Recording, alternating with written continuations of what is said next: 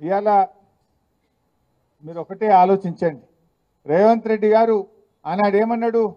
ఎమ్మెల్యేలు పార్టీలు మారితే రాళ్ళతో కొట్టండి అన్నాడు. ఇవాళ ఆయన్నే పోయి కండువాలు కప్పుతుండు ఇళ్ళకి పోయి. నువ్వు ఏం మాట్లాడినా నువ్వేం చేస్తున్నావు? ఇవాళ ప్రజలు గమనిస్తూ ఉన్నారు. ఇవాళ రుణమాఫీ విషయంలో కూడా ఏం చేసిండ్రు? కోతలు పెట్టే కార్యక్రమం చేసిండ్రు. నిన్న జీవోలనేమో రేషన్ కార్డు ఆధారంగానే రుణమాఫీ చేస్తాము అని జీవోలో ఇచ్చింది అంటే రేషన్ కార్డు ఆధారంగా కుటుంబాన్ని గుర్తిస్తాం కుటుంబానికి ఒక రుణమాఫీ చేస్తాము అని చెప్పి జీవోలో ఇచ్చింది. ప్రజల్లో వ్యతిరేకత వస్తే మాటల్లో ఏం చెప్తున్నారు? లేదు లేదు రేషన్ కార్డు అవసరం లేదు పాస్బుక్ ఆధారంగా చూస్తామని మాటలు చెప్తున్నారు. మాటలు నడవయి కదా నీ జీవో మార్చు.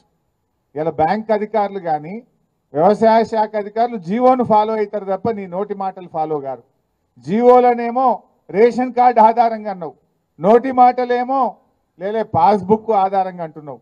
ఇప్పుడు అప్పిచ్చేటప్పుడు నీ రేషన్ కార్డు ఉందా లేదా అని అడగలే. పాస్బుక్ ఉందా లేదా అని చూసి అప్పిచ్చింది ఆ పాస్బుక్ ఆధారంగా రుణమాఫీ జరగాలి. నీ జీవోలో ఉన్నటువంటి జీవోను మార్చండి. జీవోను మార్చి రేషన్ కార్డుతో కుటుంబంతో సంబంధం లేదు. పాస్బుక్ ఆధారంగా రుణమాఫీ చేస్తామని మీ నోటి మాటగా చెప్పిన మాటలు మార్చిన కొత్త జీవోలో వచ్చినప్పుడే మీరు నిజంగా రైతులకు మేలు చేసినట్టు. నిజంగా మీరు చెప్పిన మాటలు నిజమైనట్టు.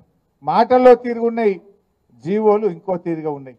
పిఎం కిసాన్ నిబంధనలు అమలు చేస్తాను. ఎందుకు పిఎం కిసాన్ నిబంధనలు? నిజంగా ప్రతి రైతుకు ప్రతి పేద రైతుకు నువ్వు సాయం చేసేది ఉంటే పిఎం కిసాన్ నిబంధనలు ఎందుకు?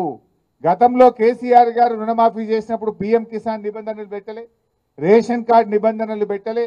ఈ అప్పుడు లేని నిబంధనలు ఇప్పుడు ఎందుకు? అంటే నువ్వు మాటలు ఎక్కువ చెప్పినావు ఇవాళ కోతలు పెట్టే కార్యక్రమం చేస్తున్నావు. ఇవాళ రైతులకు మోసం చేస్తూ ఉన్నారు. ఆ రోజు ఏం చెప్పిండ్రు? వడ్లకు బోనస్ అన్నాడు. కాగితం జీవో వచ్చే వరకు సన్నాలకే బోనస్ అంటుండు. అంటే రూపాయిలో పది పైసలే సన్నాలు ఉంటాయి. తొంభై పైసలు దొడ్డు రకం వడ్లే ఉంటాయి. అంటే తొంభై శాతం రైతులకు నువ్వు బోనస్ ఎగ్గొట్టినవు. ఇవాళ రుణమాఫీలో కూడా పిఎం కిసాన్ నిబంధనలు పెట్టి రేషన్ కార్డు నిబంధనలు పెట్టి సగం మంది రైతులను ఎగ్గొట్టేటువంటి ప్రయత్నం చేస్తూ ఉన్నావు. ఇవాళ ప్రజలకు కూడా అర్థమవుతుంది. వీళ్ళు అన్ని అబద్ధాలు చెప్పిండ్రు మాయ మాటలు చెప్పిండ్రు మోసపూరిత మాటలు చెప్పిండ్రు అనే విషయాన్ని ప్రజలు కూడా గమనిస్తా ఉన్నారు.